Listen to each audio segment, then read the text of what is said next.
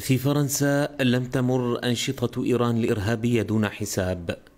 السلطات جمدت أصولا مملوكة للمخابرات الإيرانية وأخرى لأسد الله أسدي وسعيد هاشمي وهما مواطنان إيرانيان.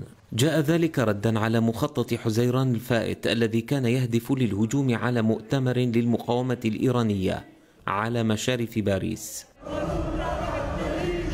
الحكومة الفرنسية حملت النظام في طهران المسؤولية الكاملة عن مخطط التفجير وجاء في بيان مشترك لوزارات الخارجية والداخلية والاقتصاد الفرنسية أنه تم إحباط محاولة هجوم في فيلبانت يوم الثلاثين من حزيران مؤكدة أنه لا يمكن أن يمر هذا الفعل الإجرامي دون عقاب.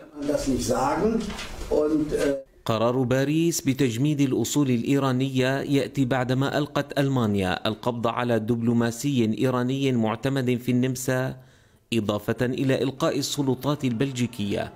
القبض على شخصين آخرين بحوزتهما متفجرات في بلجيكا. سلطات البلدين أكدت أن المعتقلين على صلة مباشرة بمخطط التفجير.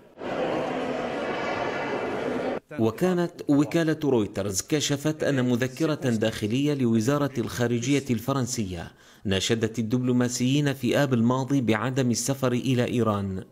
كما أجلت باريس ترشيح سفير جديد إلى إيران ولم ترد على ترشيحات طهران لمناصب دبلوماسية في فرنسا. كل ذلك في إطار ما تصفه فرنسا بالتهديد الإيراني لأمن أوروبا.